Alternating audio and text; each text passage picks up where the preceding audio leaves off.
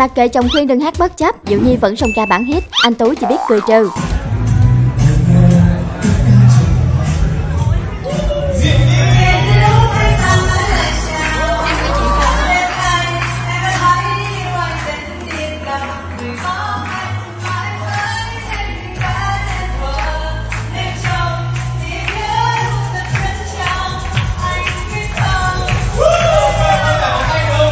Đám cưới lần hai của Diệu Nhi Anh Tú chính thức diễn ra ở Hà Nội với sự góp mặt của hai bên gia đình và đông đảo bạn bè thân thiết. Trong tiệc cưới, nam ca sĩ tiếp tục khuấy động bầu không khí với bản hit triệu view mang tên bài này không để đi diễn.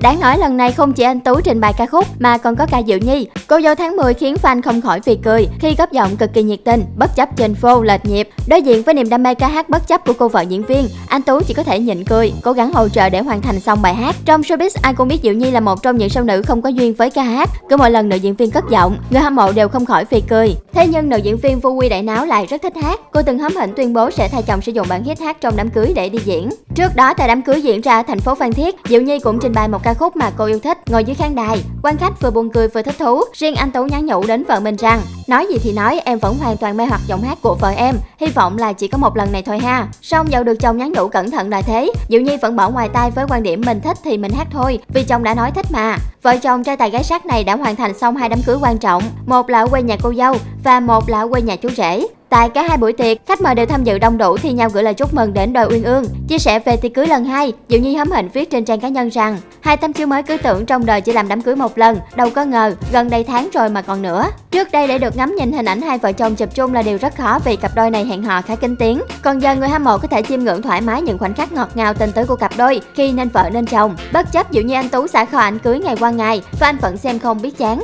Diệu Nhi và anh Tú nổi tiếng với độ lầy lội hài hước khi bên nhau. Trong một dịp lên sóng truyền hình, diễn viên gái già lắm chiêu còn mạnh dạn tỏ tình. Điện thoại nào mới ra cô sẽ mua cho bạn trai. Năm sau nam ca sĩ muốn có xe hơi thì nữ diễn viên sẽ cố gắng làm để mua xe hơi cho anh. Còn tiền thưởng thì vô tư không cần chia, cứ quen Diệu Nhi thôi. Còn chuyện khác cứ để cô lo. Dù chỉ là lời hứa đồ vui, song có thể thấy sau nhiều năm đóng phim, Diệu Nhi cũng tích góp được vốn liếng kha khá để sống thoải mái.